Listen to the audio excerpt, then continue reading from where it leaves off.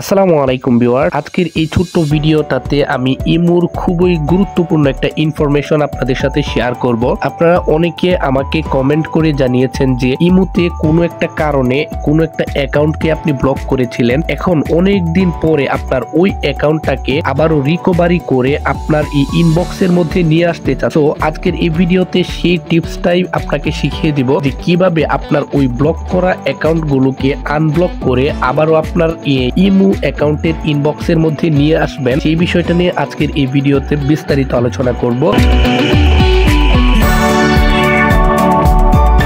Imo থেকে block করা অ্যাকাউন্টগুলোকে আপনি যদি একটা লিস্ট আকারে পেতে চান, সেক্ষেত্রে ইমোতে খুব সহজেই সিম্পল ভাবে একটা সেটিংস গেলে যতগুলো অ্যাকাউন্টকে আপনি ব্লক করেছিলেন, সবগুলো অ্যাকাউন্ট কিন্তু একটা সেটিংস এর ভিতরে ব্লক লিস্ট আকারে হয়ে আছে। আপনি ওই জায়গা থেকে যাকে যাকে আপনি আনব্লক করতে চান, সবগুলো অ্যাকাউন্টকে আপনি আনব্লক করতে পারবেন। সেটা দেখার জন্য বা জানার জন্য আপনার ইমুতে যে একটা প্রোফাইল আইকন দেখতে পাচ্ছেন, এটার উপরে জাস্ট ক্লিক করে দিবেন। দেওয়ার পরে এখান থেকে সিকিউরিটি এন্ড প্রাইভেসি নামে অপশনটার উপরে ক্লিক করবেন। তারপরেই দেখবেন এখান থেকে ব্লকড লিস্ট নামে একটা অপশন রয়েছে। এটার উপরে ক্লিক করার সাথে সাথেই দেখবেন আপনার এই ইমু অ্যাকাউন্টের মধ্যে যতগুলো অ্যাকাউন্টকে আপনি ব্লক করেছিলেন, সবগুলো অ্যাকাউন্ট কিন্তু আপনার এখানে ধাপে ধাপে শো করবে। এখন আপনি যাকে আনব্লক করতে চাচ্ছেন বা আপনি পুনরায় যাকে তার সাথে কথা বলতে চাচ্ছেন, তাকে জাস্ট আনব্লক বাটনে ক্লিক করলেই কিন্তু এই অ্যাকাউন্টটা আনব্লক হয়ে যাবে। আনব্লক হয়ে আপনার ইমোর ইনবক্সের মধ্যে চলে আপনি এখান থেকে তার সাথে